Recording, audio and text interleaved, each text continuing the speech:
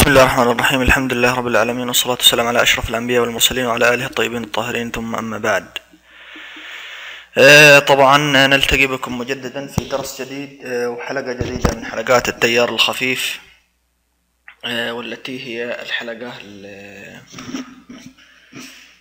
والتي هي حلقة من حلقات التيار الخفيف. في هذه الحلقة راح- نأخذ إن شاء الله جهاز الحضور والانصراف.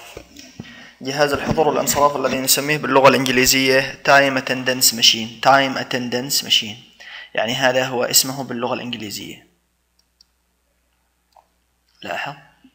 الاسم آه، Time Attendance Machine يعني جهاز حضور وانصراف وجهاز حضور وانصراف اللي هو آه، جهاز الدوام بصمة يعني. بشكل مختصر بصمة. إيش راح نأخذ إن شاء الله في هذا آه، في هذا الفيديو راح نتعرف على فكرة عمل الحضور جهاز الحضور والانصراف. يعني كيف يشتغل جهاز الحضور والانصراف؟ إيش الآلية اللي يشتغل بها جهاز الحضور والانصراف؟ آه يعني فكرة العمل. وراح نتعرف على الجهاز. إيش مكونات الجهاز؟ كيف نوصل الجهاز على الشبكة؟ و و ثم راح نتعرف على البرنامج. في برنامج مرفق يتم تنصيبه على جهاز الكمبيوتر لكي يتم التعامل مع الموظفين ونقوم بإدخال بيانات عشوائية لموظفين. واضح الكلام. ومن ثم ملاحظات واستفسارات. نبدأ من النقطة الأولى التي هي فكرة عمل جهاز الحضور والانصراف. أنا راح أبسط فكرة جهاز آه، آه، فكرة آه، فكرة عمل جهاز الحضور والانصراف كالتالي. النقطة الأولى اللي هي فكرة العمل تتلخص كالتالي. تخيل إن عندنا تخيل إن عندنا التالي. تخيل إن عندنا الآن طبعا هذه الشبكة الداخلية. الشبكة الداخلية لما تكون عندي أكثر من ثلاثة أجهزة تكتب بهذا الشكل. لاحظوا عندي. هذا ال- هذا ال PC الأول PC واحد هذا PC اثنين وهكذا تحت تحت لحد عدد معين من أرقام ال- ال- ال PC. PC N. يعني مهما كان رقم الجهاز. طبعا هذا هذا الآن الخط الخط اللي هنا هذا طبعا هذا logical diagram بيمثل هذا switch بس لما يكون عندي عدد الأجهزة أكثر من ثلاثة بمثلهم على أنهم خط والخط هذا متوصل بإيش؟ والخط هذا متوصل ب PC هات واضح. الآن هذه لأن هذه كلها إيش؟ هذه لأن ال LAN طيب. ما علينا من هذا الكلام. نجي على الكلام الإيش؟ المهم. طيب. هذا الآن عندي ال LAN واضح الكلام ال LAN هذه الآن آه، طبعا مش عشان تتوصل بالإنترنت آه، لازم تتوصل براوتر واضح الكلام. لكن في بعض المؤسسات أو بعض الشركات ما فيش routers. أو حتى في بعض الأماكن الصغيرة يعني في أماكن صغيرة ما فيها routers. فإيش تكون متصلة هنا؟ فبتكون متصلة بال LAN هنا إيش؟ هذا مش PC ولكنه DSL modem.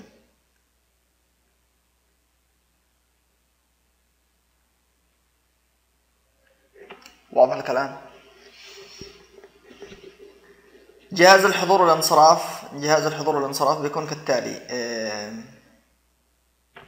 أو دعني أوضح الرسم بشكل آخر.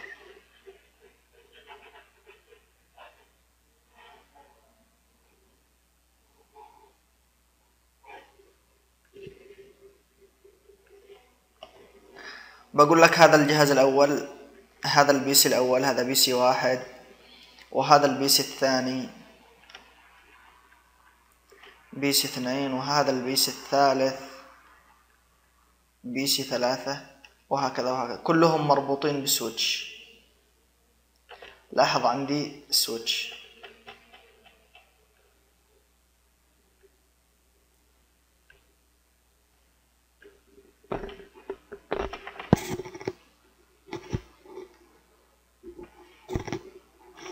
كيبل شبكة واضح؟ من.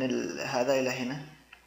وكيبل شبكة من هنا لهنا وكيبل شبكة من هنا لهنا واضح الكلام؟ الآن هذا cable UTP ال cable اللي هنا إيش؟ هو cable UTP cable شبكة.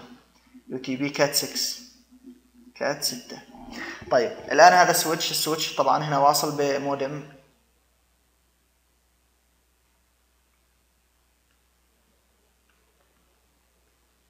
واصل بال DSL modem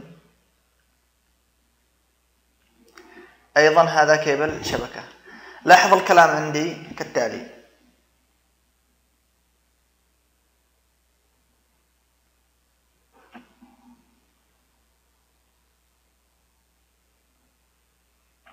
طيب. طبعا المودم في واصل هنا إيش؟ خط التليفون. هذا الآن تليفون.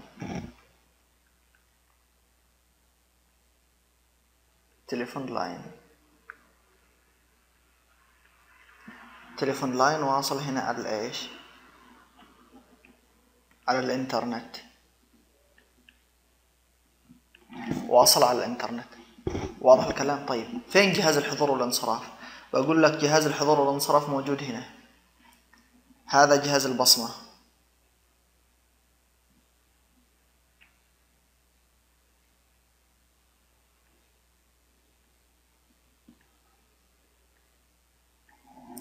هذا الآن جهاز البصمة. جهاز الحضور والانصراف.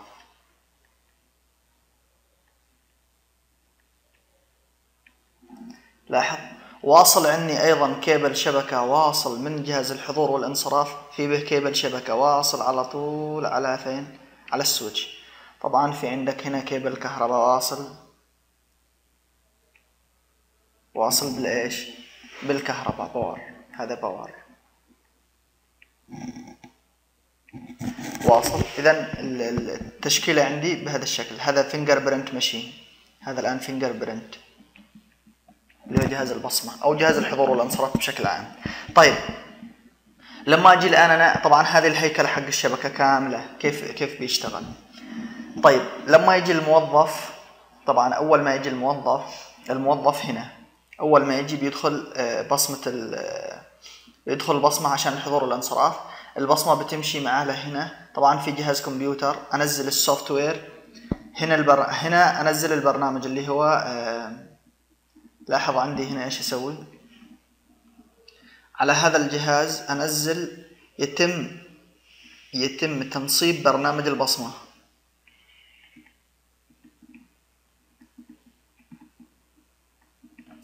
برنامج الحضور والانصراف.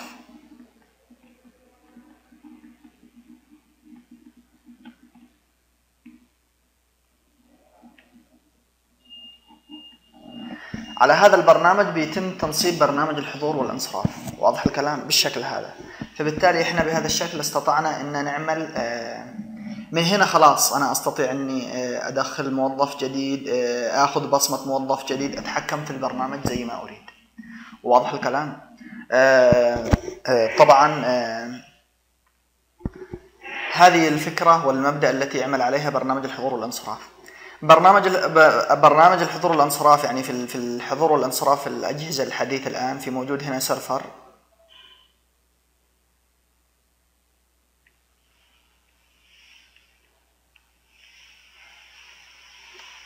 إيش موجود داخل ال server هذا؟ طبعا ال server هذا يكون أنا بعطيه ال real IP هنا بعطيه IP حقيقي هنا في هذا الجهاز حضور الانصراف بحيث إنه هذا الجهاز البصمة بيتصل بال switch ال switch بيتصل بال modem ال modem بيتصل بالإنترنت بحيث إنه ال server هذا بيأخذ backup كل مثلا بقول لك backup كل 30 ثانية. كل 30 ثانية بيأخذ backup من البيانات عشان ما تضيع علي عشان لو آه، عمل crash هذا الجهاز اللي هنا يعني راح الجهاز اللي هنا أو انقطعت الشبكة أو المهم إلى آخره بيعمل إيش؟ بيعمل 30 ثانية. لكن شرط ال backup إنك لازم أنت آه، آه، تكون متصل بالإنترنت. واضح الكلام؟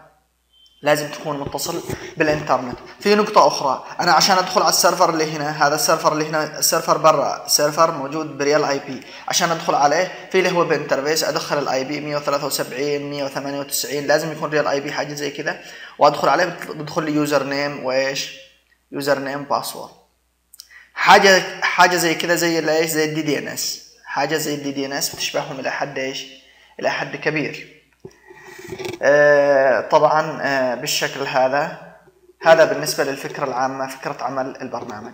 أتوقع أن بفكرة عمل البرنامج آه، صار جدا واضح. نجي على النقطة الثانية اللي هي آلية مكونات طبعا إيش كانت الأولى الأولى فكرة عمل الجهاز هذه انتهينا منها. النقطة الثانية التعرف على الجهاز ومكوناته. طبعا راح أشرح لكم مكونات الجهاز. مكونات الجهاز جهاز البصمة بيتكون من التالي. الجهاز نفسه راح أعرض لكم صورة للجهاز. الجهاز نفسه اللي هو عبارة عن آه، جهاز إلكتروني. طبعا في هنا مكان للبصمة. هنا بتدخل هنا مكان البصمة. هنا مكان للبصمة. في هنا مكان للكرت. طبعا الكرت يتم عرضه عرض فقط واضح؟ وفي هنا شاشة. الشاشة هذه بتتم فيها التحكم. طبعا في هنا أزرار. هنا بتنس موجودة. هنا بتنس واضح الكلام؟ في له الجهاز في له محول المحول هذا ادابتر بيشتغل على 12 فولت مثل ما أسلفنا سابقا. آه، بتوصل على طول. هذا هذا الآن آه، كهرباء هذا كهرباء أو power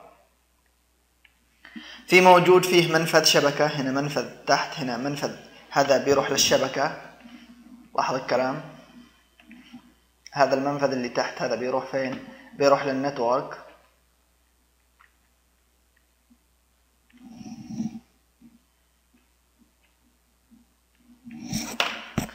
بالشكل هذا. فبالتالي أنا الآن آه هذه تقريبا كل مكونات الجهاز. طبعا في مكونات أخرى للجهاز اللي هي سكريوس اللي هي عبارة عن مسامير صغيرة. واضح المسامير هذه بتثبت الجهاز. آه يعني أشياء تكميلية هذه أشياء مكملات يعني. مكملات كهربائية. طيب انتقلنا إلى النقطة الثالثة. طبعا الآن هذا أنا رويتكم الجهاز بشكل نظري مكونات الجهاز لكن راح نأخذها بشكل آه، عملي. واضح الكلام؟ طيب الآن راح أعرض عليكم آه، جهاز الحضور والانصراف كالتالي.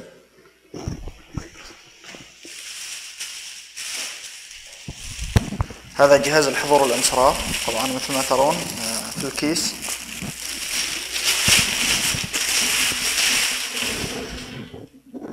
طبعا أول ما تأخذ الكرتون حق الحضور والانصراف راح تلاقي لكل جهاز في serial number. موجود على كل جهاز هنا إيش؟ هذا عبارة عن serial number. عبارة عن serial number موجود في الجهاز بحيث إنك إيش؟ تستطيع تأخذ ال serial تبعه عشان تدخل عليها ريموت. تفتح ال... هذا عبارة عن كتيب مرفق كتيب مرفق للجهاز. هذه عبارة عن تعليمات من الشركة كيف آلية شغل الكتاب الجهاز. هذا هو الأدابتر هذا الآن هو المحول محول للجهاز. لاحظ عندي الجهاز شغال بالشكل هذا. هذا الأدابتر.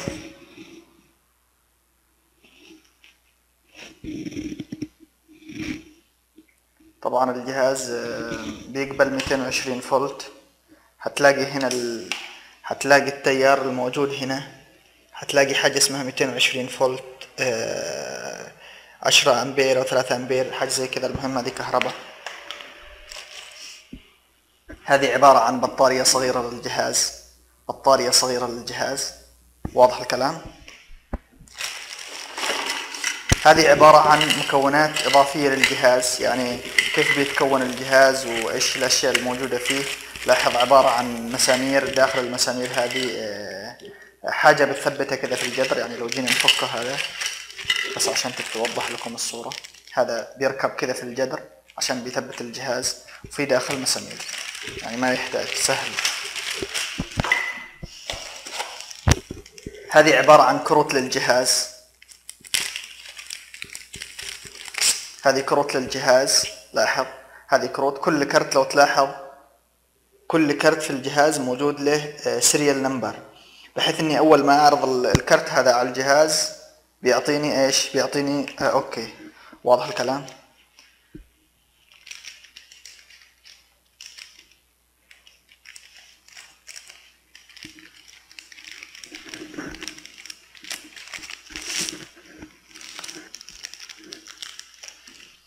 وفي الأخير نجي للجهاز. في الأخير نجي للايش نجي للجهاز. كما تلاحظون الجهاز آه، طبعا هذه الواجهة الأمامية للجهاز.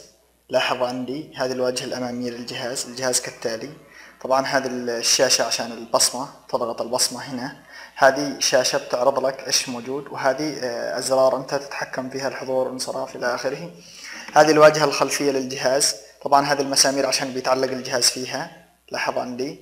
آه، طبعا الجهاز صيني كما تلاحظون made in China هذه الواجهة اللي هي آه، واجهة الربط.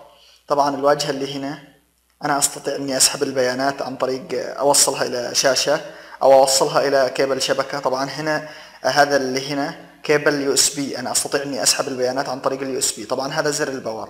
واضح الكلام؟ هذا زر اللي إيش؟ زر ال power. لو تلاحظون الأشياء المرفقة اللي جاية مع الجهاز إيش هي؟ جاي مع الجهاز آه، cable cable شبكة كيبل شبكة بسيط. طبعا هذا ما راح نعتمد عليه راح نستخدم الكيبل الشبكة الكبير. في جاي مع الجهاز آه، flash USB flash. لو تلاحظ ال USB flash فين تركب؟ طبعا لما تلاحظ هذا ال USB flash ما تقدر تركبها هنا. ما فيش لها منفذ. لو تلاحظ المنفذ غير يعني مش مش مش نفس المنفذ اللي فيه الإيش؟ مش نفس المنفذ اللي فيه ال فاحنا إيش بنسوي؟ في عندنا cable. cable بيحول من USB. طبعا هذا الكيبل إيش وظيفته؟ هذا من هذا الطرف يو إس بي. لاحظ هذا الطرف يو إس بي. هذا الطرف الآخر طرف بيقبله الجهاز. فأنا أركب الفلاش بالشكل هذا. لاحظ لاحظ لاحظ. أنا ركبت الفلاش كذا وأروح على الجهاز. أروح على الجهاز أركب الجه... الطرف الآخر كذا لاحظ استطعت إني أركب الايش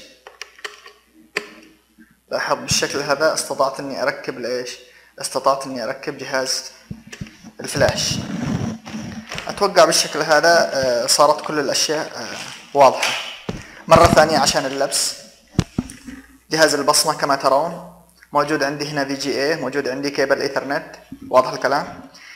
آه، الموجود عندي آه، cable VG موجود عندي كيبل آه، إيثرنت موجود عندي cable USB قلنا ال USB ما بيركب مباشرة لازم تركب كيبل بيحول من port الجهاز إلى إلى port USB واضح الكلام بالشكل هذا. هذا الثاني.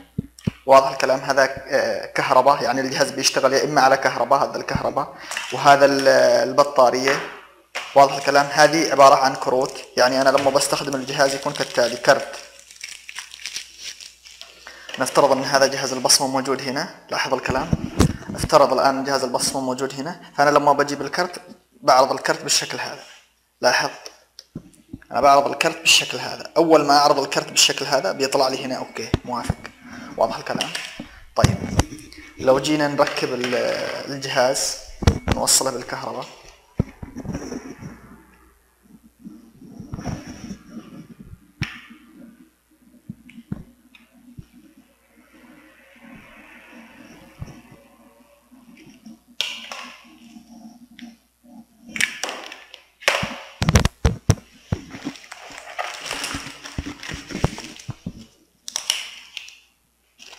ما بنحتاجها كثير.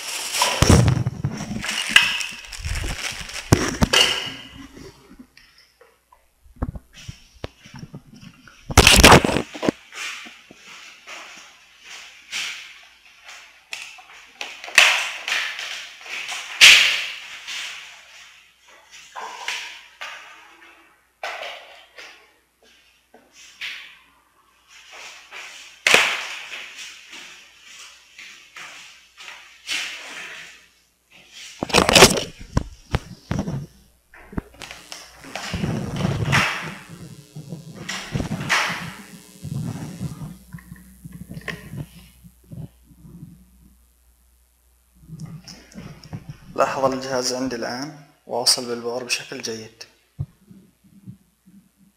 لاحظ.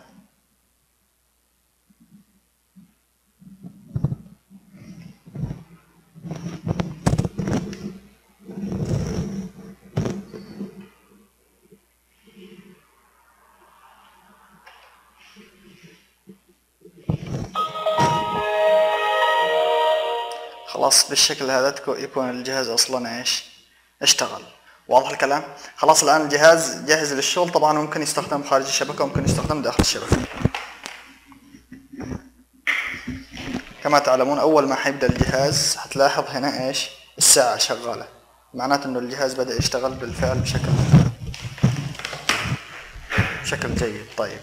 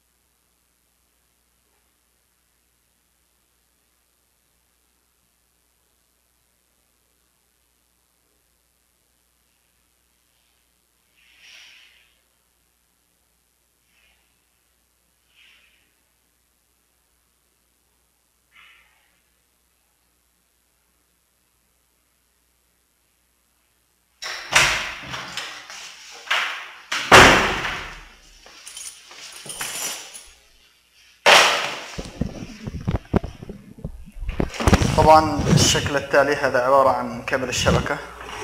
واضح. عندي كابل الشبكة واصل. بالشكل هذا أنا أوصل الجزء الأول من كابل الشبكة هنا. لاحظ عندي. طبعا جهاز البصمة راح يشتغل بشكل أساسي بدون كابل الشبكة لكن أنا ما أقدر أربطه بالنت ما أقدر أتحكم في الأشياء الثانية. واضح الكلام؟ أستخدم الكابل هذا okay. لاحظ عندي أنا وصلت الكيبل من هنا. أوصله لل DSL modem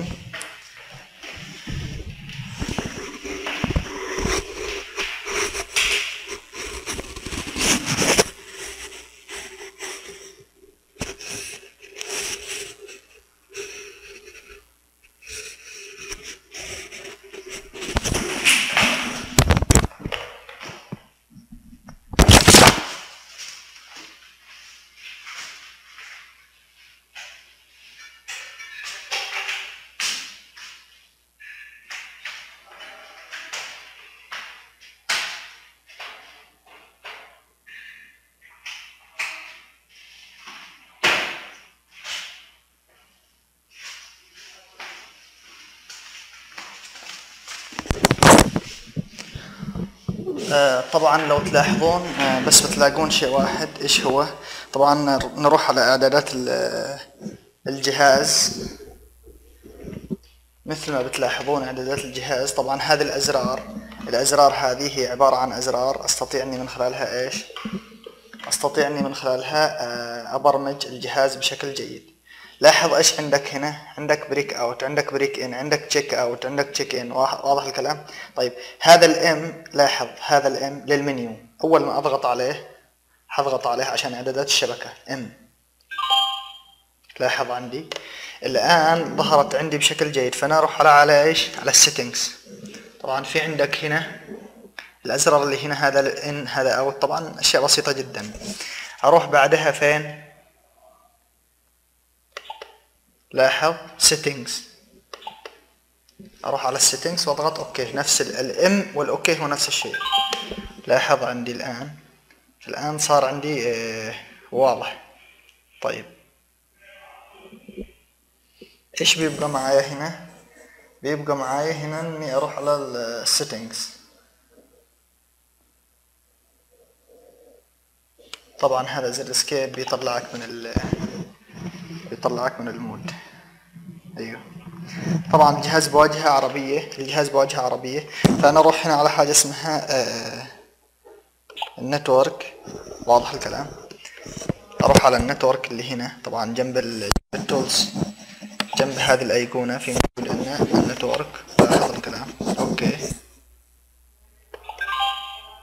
طيب هنا ال network ضبط ال network. لاحظ عندي.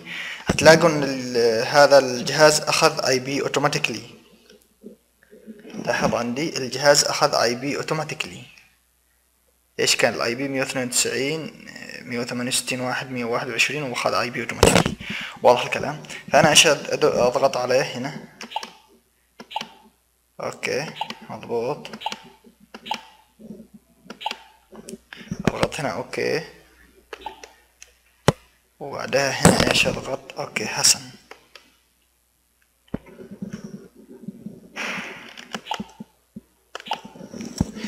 لو بتلاحظون في الجهاز خلاص لما يظهر لي هذا الرمز معناته الجهاز متصل بالشبكة بشكل آه، جيد.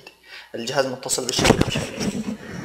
لاحظ أنا الآن راح أدخل مستخدم جديد. طبعا واجهة interface عربية جدا بسيطة ما بتحتاج إلى أي جهد كانت إنجليزي. يعني كل أجهزة البصمة بتشتغل على هذا المبدأ.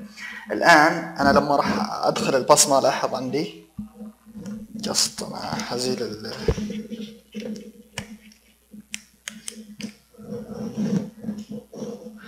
لاحظ عندي؟ لاحظ يوجد محاولة مرة أخرى. ليش؟ لأنه أنا مش مدخل بياناتي أصلا. فعشان كذا ما راح يظهر عندي بشكل أساسي. آه الآن أنا بقوم بإدخال مستخدم جديد. لاحظ أنا راح أدخل مستخدم جديد. طبعا أنا راح أرفق لكم البيانات كيف تستخدم الجهاز من هذا الموديل. كلها نفس نفس الأشياء. أروح على هنا. هضغط على مستخدم إدارة مستخدم. لاحظ عندي إدارة مستخدم. OK. هختار أنا مستخدم جديد. OK. طبعا اسم المستخدم حيكون مثلا أي اسم. لاحظ في نقطة مهمة. أنا أدخل فقط هوية المستخدم ال user ID والبصمة من الجهاز. ال- البيانات الأخرى ال user name الهوية ال- كل شيء آخر آه، رقم التلفون رقم العمل فترات الدوام كلها من خلال البرنامج هذا الجهاز فقط يستخدم لإدخال بصمة فقط فقط أو استخدام card. لاحظ عندي أنا راح أستخدم آه، بصمة بالشكل هذا. أوكي. لاحظ عندي أظهر إني لازم أدخل البصمة. لاحظ بالشكل هذا. المرة الأولى. المرة الثانية. المرة الثالثة. لاحظ. خلاص أنا بالشكل هذا إيش؟ تم إدخال آه، المستخدم هذا. أروح أسوي موافق. أوكي.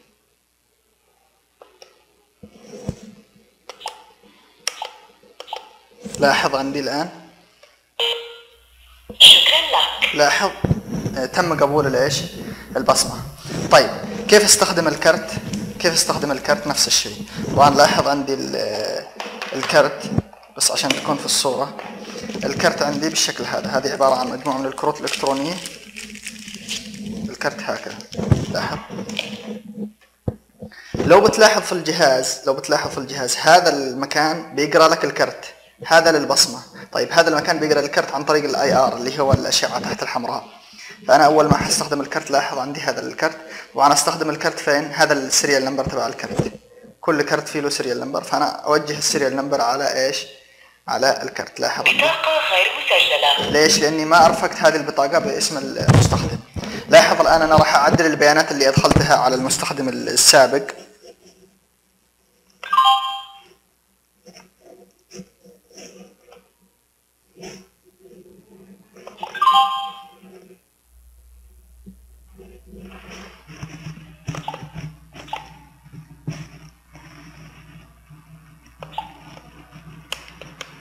تحرير.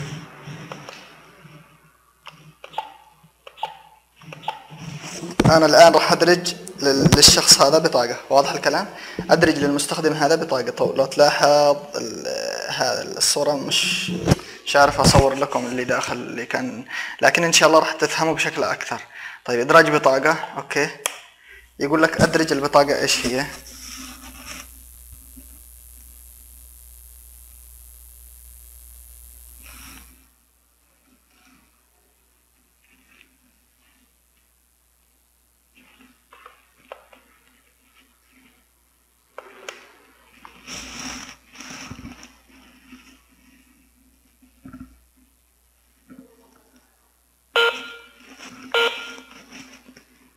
لاحظ حفظ البطاقة. تم إيش؟ حفظ البطاقة.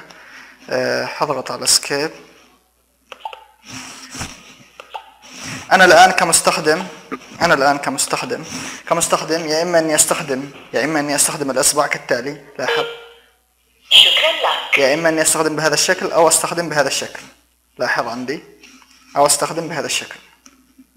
بطاقة غير مسجلة.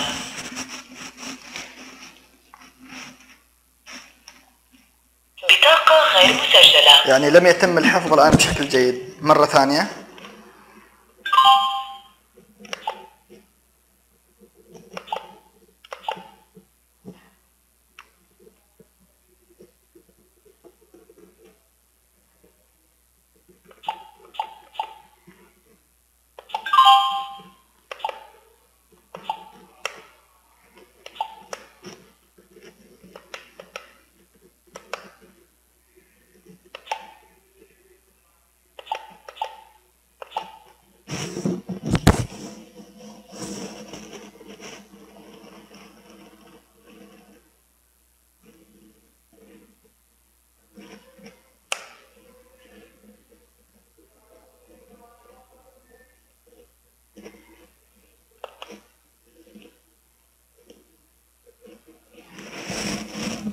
في اشكالية